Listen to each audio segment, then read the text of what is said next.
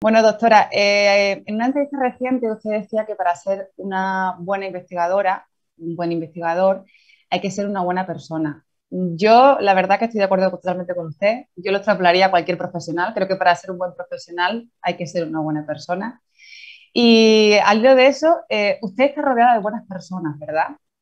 Yo creo que la investigación requiere una chispa vocacional, ese pasito más que dicen los ingleses que uno da, aunque no esté obligado a ello, ese rato de tu tiempo que sacas, ese...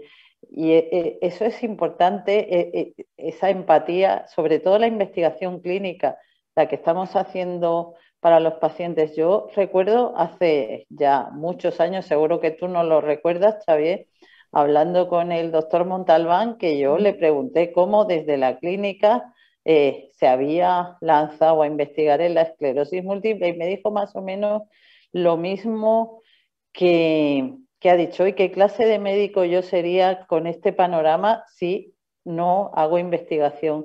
Y entonces eso es lo que hace falta, gente con empatía que no solo eh, haga clínica, sino también haga investigación, también entienda que eso es necesario, vea eso como algo más que tú puedes dar y que debes dar si lo puedes hacer. Y eso creo que son buenas personas.